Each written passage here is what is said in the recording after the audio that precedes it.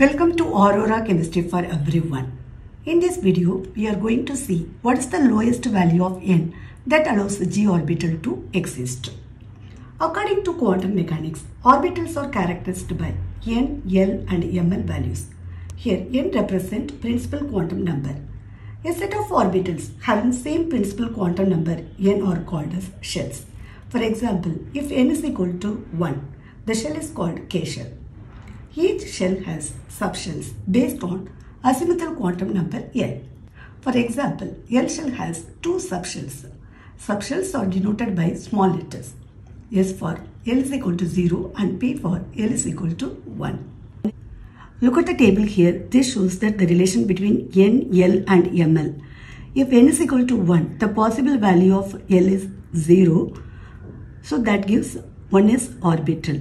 That means there is the relation between n and l.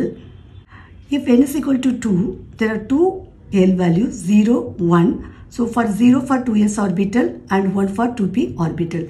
If n is equal to 3, then there are three possible values 0, 1, 2. So 3s, 3p and 3d.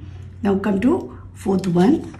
If n is equal to 4, then 0, 1, 2, 3. So 4s, 4p, 4d, 4f. So till 4f it is here. But we want that answer for g orbital.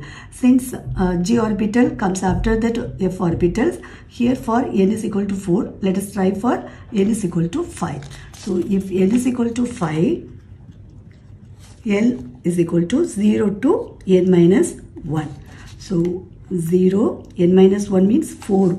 So we will have like 1, 2, 3, 4.